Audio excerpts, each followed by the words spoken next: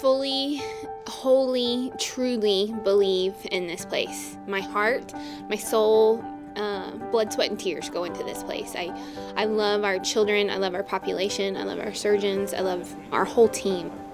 Everything. The kids here, all the coworkers, the doctors, the nurse. I love them all. Scottish Rite is truly a hospital with a soul. There's not a lot of hospitals, I feel, that truly have a soul. This hospital has a soul. When you walk in the door, you feel there's, there's a difference here. It's the culture, it's the people, it's the mission. I feel like I, like I belong here, like this is my house. Building this building where we're standing on right now, from scratch. We did all the excavations. We pour all the concrete. It's amazing how this building got together. You know, we are like family. We, we try to treat each other right and help each other and encourage one another. And so all these different things, uh, they can be lost if you don't really make an effort.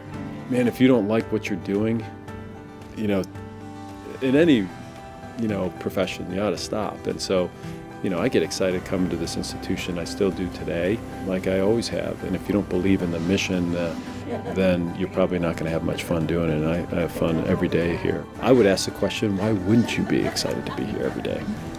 I mean, uh, that's a hard one. That's a harder question, much harder question. I love what I do.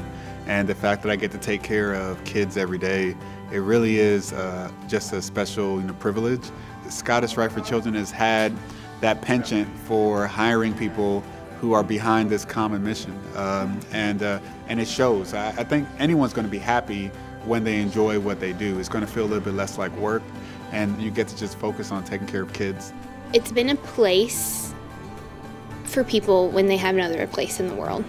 Um, a lot of kids come here that have been turned away multiple times, have been given, you know, bad prognosis multiple times, and here there's hope. I mean, our families say it every day. This place gave us hope. To me, that's the that's that's what we do, and and we deliver on that message too. It's not just we give them hope; we deliver on that every day. It's a consistent thing. Excellence is an everyday thing. It's not every other day. It's not once a week. It's an everyday thing. Never forget what a tremendous honor and privilege it is to be allowed to take care of a child. Don't ever get too big for your britches in a way.